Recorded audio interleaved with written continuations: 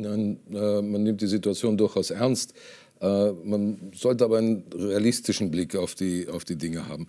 Salzburg nehmen wir das letzte Beispiel. 2009 Landtagswahl lag die SPÖ über 40 Prozent, ist heute auf die Hälfte reduziert.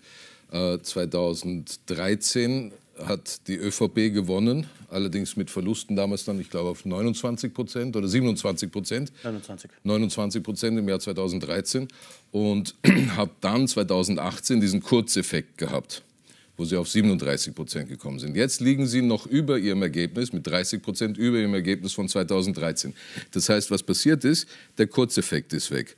Und da äh, muss ich einfach schmunzeln.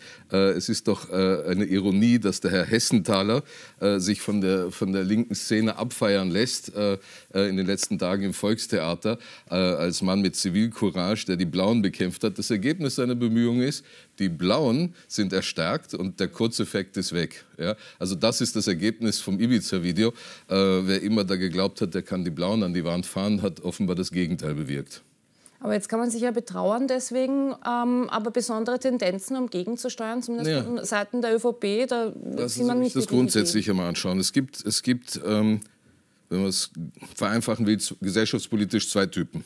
Es gibt den einen, ähm, der richtet die Erwartungen gegenüber dem Leben an sich selbst. Der sagt, was kann ich tun, damit es mir und den meinen so geht, wie ich mir das vorstelle. Tendenziell bürgerlich blau. Dann gibt es jene, die richten diese Erwartungen ans System die sagen, was kann das System, was kann die Gesellschaft, was kannst du tun, damit es mir gut geht. Tendenziell links-grün.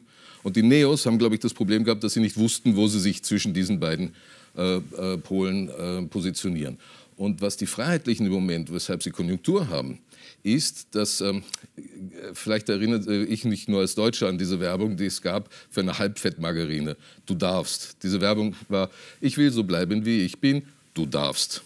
Und das ist das, was die FPÖ gerade spielt. Egal, ob das LGBTQ, Gendern, Klimakleben, äh, äh, Migration, alles, was den Leuten, Verzeihung, am Arsch geht, sagt sie, das darf dir am Arsch gehen. Die Grünen belehren, die Roten belehren, die Neos leider zum gewissen Teil auch, belehren die Menschen, wollen von ihnen was.